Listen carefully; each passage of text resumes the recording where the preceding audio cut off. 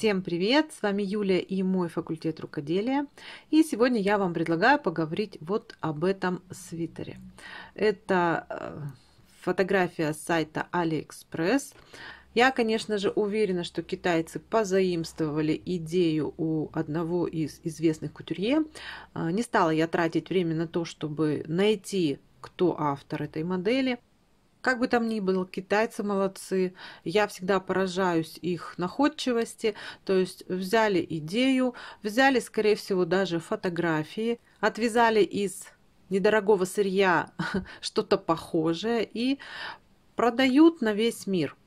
У нас же есть вариант либо купить это на Алиэкспресс. Я, кстати, под видео оставлю ссылочку, можете зайти посмотреть, э, какая цена у данного свитера.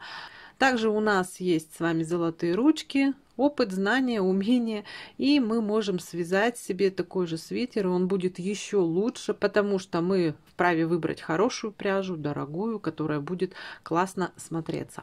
Многие уже пытались э, и здесь на ютубе вязать такой свитер и описывать этот узор. Кто-то правильно, кто-то неправильно. А, вот такие вот расцветки там есть на сайте, кстати. В чем вообще фишка привлекательности этого свитера? Как вы думаете? Ну вот на мой взгляд, это, конечно же, вот это оголенное плечо девушки. Вот тут вот девушка красивая, худенькая. И везде вот это плечико выглядывающее. Оно, конечно же, привлекает, притягивает внимание. Но когда мы видим этот свитер без девушки, он уже не такой привлекательный, согласитесь. Я не исключение, мне также понравился этот узор, и я решила себе связать свитер или джемпер с таким же узором. Но я не буду в точности повторять эту модель. Почему? Потому что попасть вот в это сочетание рапортов узора по высоте, по ширине достаточно сложно. Нужно в совокупности угадать толщину пряжу, размер спиц, э, плотность вязания, хотя, скорее всего, он здесь связан на машине, конечно же, но неважно. Я связала такой же узор, и он у меня получился меньше размерами, чем э, представлен вот здесь, вот в этой модели. А это значит, пряжа у меня тоньше, плотность вязания, скорее всего, плотнее получилась и, и так далее. То есть, если я наберу на спицы такое количество рапортов по ширине, свяжу столько же рапортов по высоте, у меня не получится свитер моего размера, а значит, мне, конечно же, надо сделать свои расчеты. Как я буду делать расчеты, на что обратить внимание, я вам сейчас расскажу.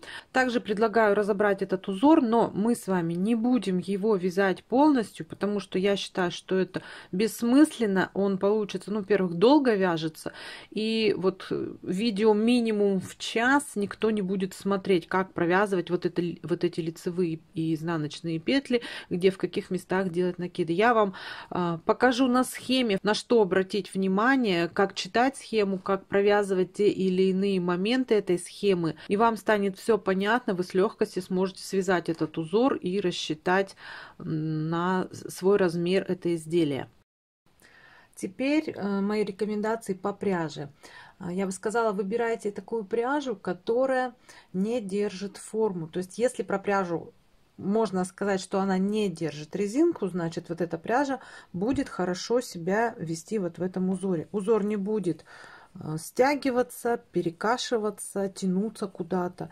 Вот видите, как мой образец достаточно ровный, красивый. Я бы посоветовала вам выбирать такие виды пряжи, как хлопок, лен, шелк, возможно, конопля. Ну, то есть у нас и модель летняя, и, соответственно, под нее подбирайте какие-то летние виды пряжи. Тогда ваш узор будет хорошо себя вести, будет хорошо смотреться, не будет перетягиваться, перекашиваться, ну и так далее. Я для себя выбрала вот такую пряжу. Это пряжа опера филатуры диполоны 50% буретный шелк 25% хлопок 25% вискоза. В 100 граммах здесь 300 метров.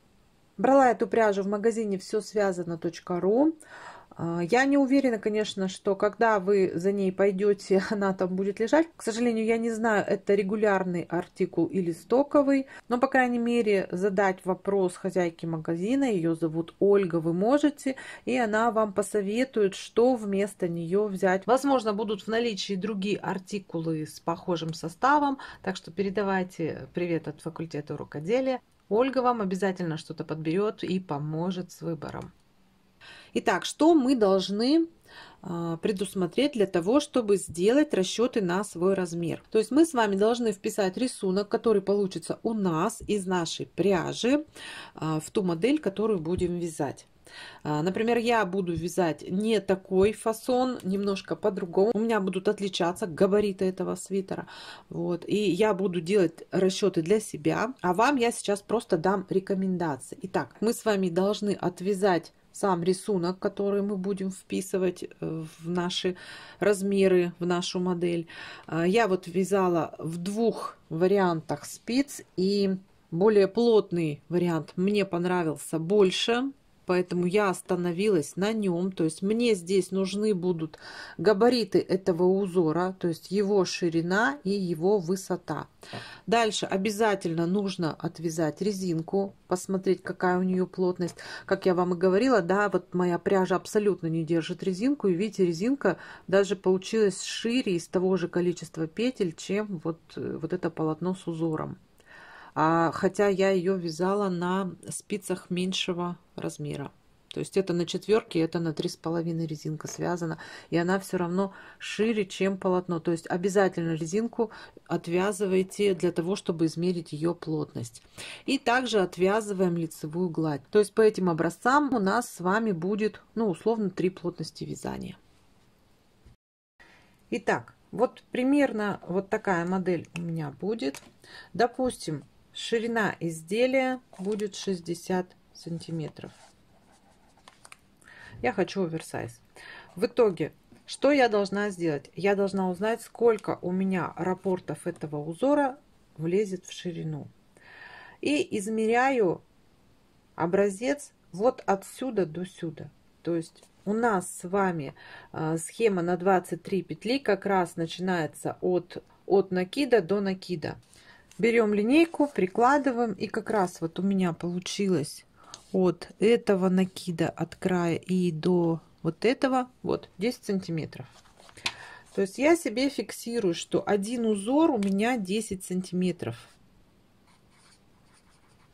Также я вычислила плотность вязания лицевой глади, у меня 2,25, и плотность вязания резинки, которую собираюсь вязать. Это у меня 2,1. А, То есть, видите, плотность вязания разная у всех образцов.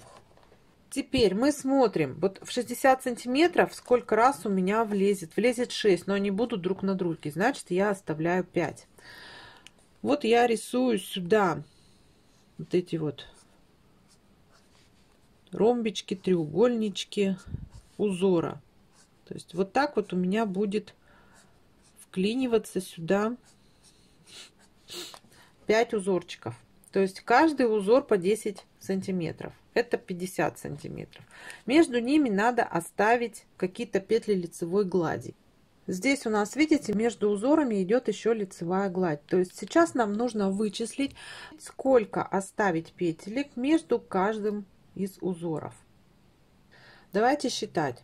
Вот с этой стороны надо оставить петельки 2, 3, 4, 5, 6. То есть у нас есть 6 отрезков по какому-то количеству петель. И остается у нас всего 10 сантиметров, да, то есть 50 мы уже забрали узором из 60. 10 сантиметров остается вот на эти петли. Смотрите, если мы возьмем по 5 петель, как на вот здесь вот на модели, вот если приглядеться, да, тут 5 петелек получается. Если эти 5 петелек взять, 6 а, на 5 получается 30 петель. Сейчас мы высчитаем, сколько они у нас займут а, расстояние. То есть 30 мы делим на нашу плотность 2,25. Это плотность лицевой глади. Получаем 13 сантиметров. То есть у нас уже на 3 сантиметра мы вылазим за необходимые размеры. Давайте убавлять. Если взять по 4, 6, промежутков по 4 петли, 6 и 4, 24, делим на 2, 25. Ну, тут плюс-минус, сами понимаете, 10 сантиметров. То есть я здесь оставляю по 4 петельки в каждом из промежутков. И по одной петле сюда нарисуем кромочные, чтобы было нам за что сшивать. То есть у нас каждый узор по 23 петли. Считаем 23 умножить на 5 плюс 6 раз по 4 и плюс 2 петли кромочных. В итоге мы получаем, это у нас получается 141 петля.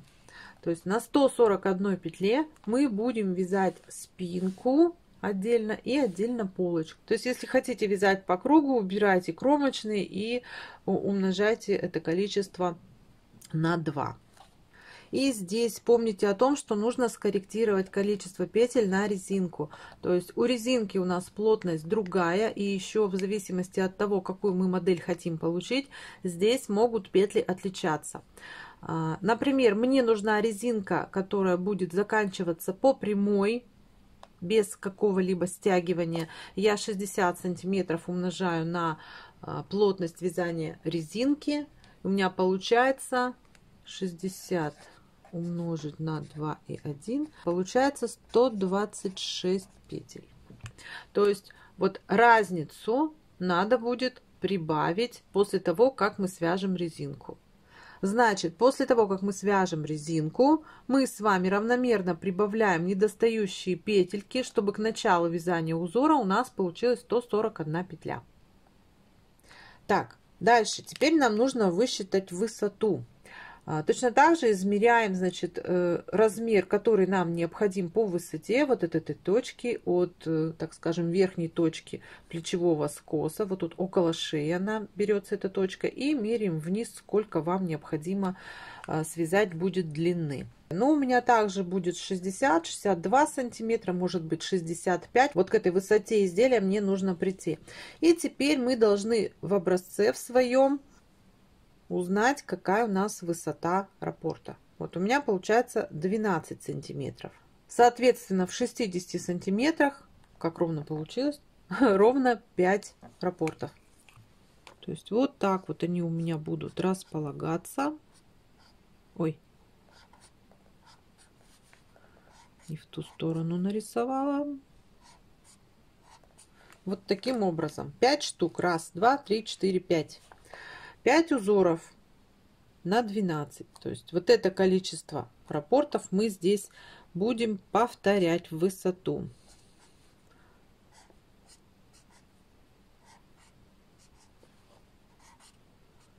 И вот здесь вот у нас уже, скорее всего, будет увязываться половинка, потому что мы здесь будем делать скос.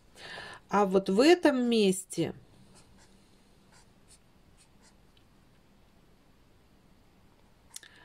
либо у нас влезет целый узор, либо все-таки половинка. Здесь будет зависеть от того, какой глубины вот этот вот вырез вы хотите. Если вам вырез нужен так под горлышко, да, вы можете закончить этот узор и начать его вывязывать вот отсюда. Но тогда он будет вот прям совсем такой уголочек у горла. Может быть, вы хотите его сделать слишком глубокий и красивый, тогда, возможно, после трех рапортов можно будет остановиться и начать вывязывать вот эту вот э, V-образную горловину. Здесь, я думаю, каждый определится для себя, какой вырез горловины ему связать.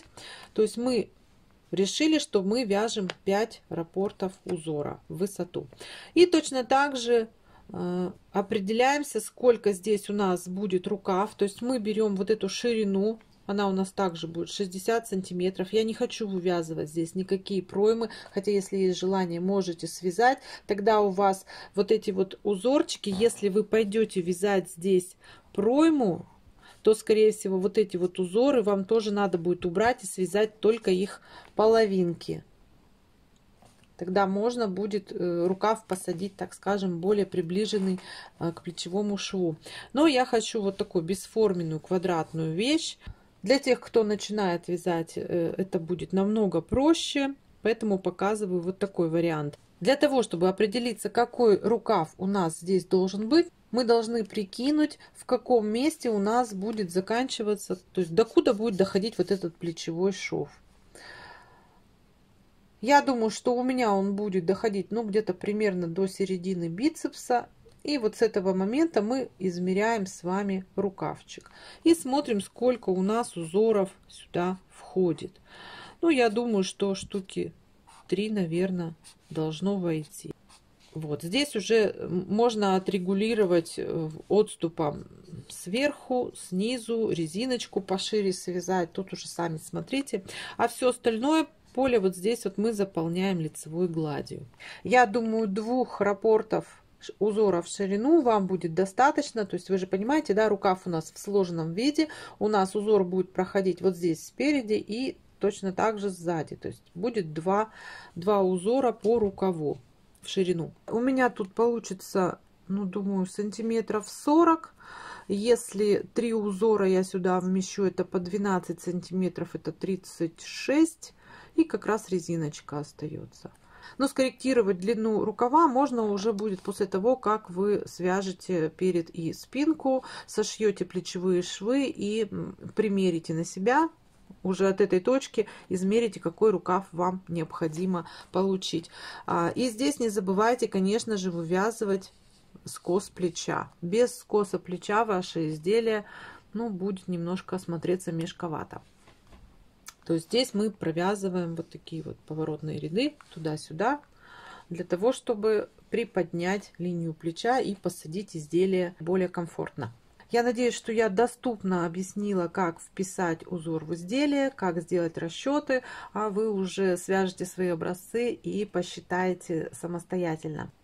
У кого появилось желание связать себе на лето джемпер вот таким узором, пишите обязательно в комментариях, а, задавайте свои вопросы. А разбор схемы я сделаю для вас в следующем видео. Так что, если вы еще не подписаны на факультет рукоделия, обязательно подпишитесь и включите уведомления, чтобы не пропустить новые видеоуроки. А с вами была Юлия и мой факультет рукоделия. Всем пока-пока!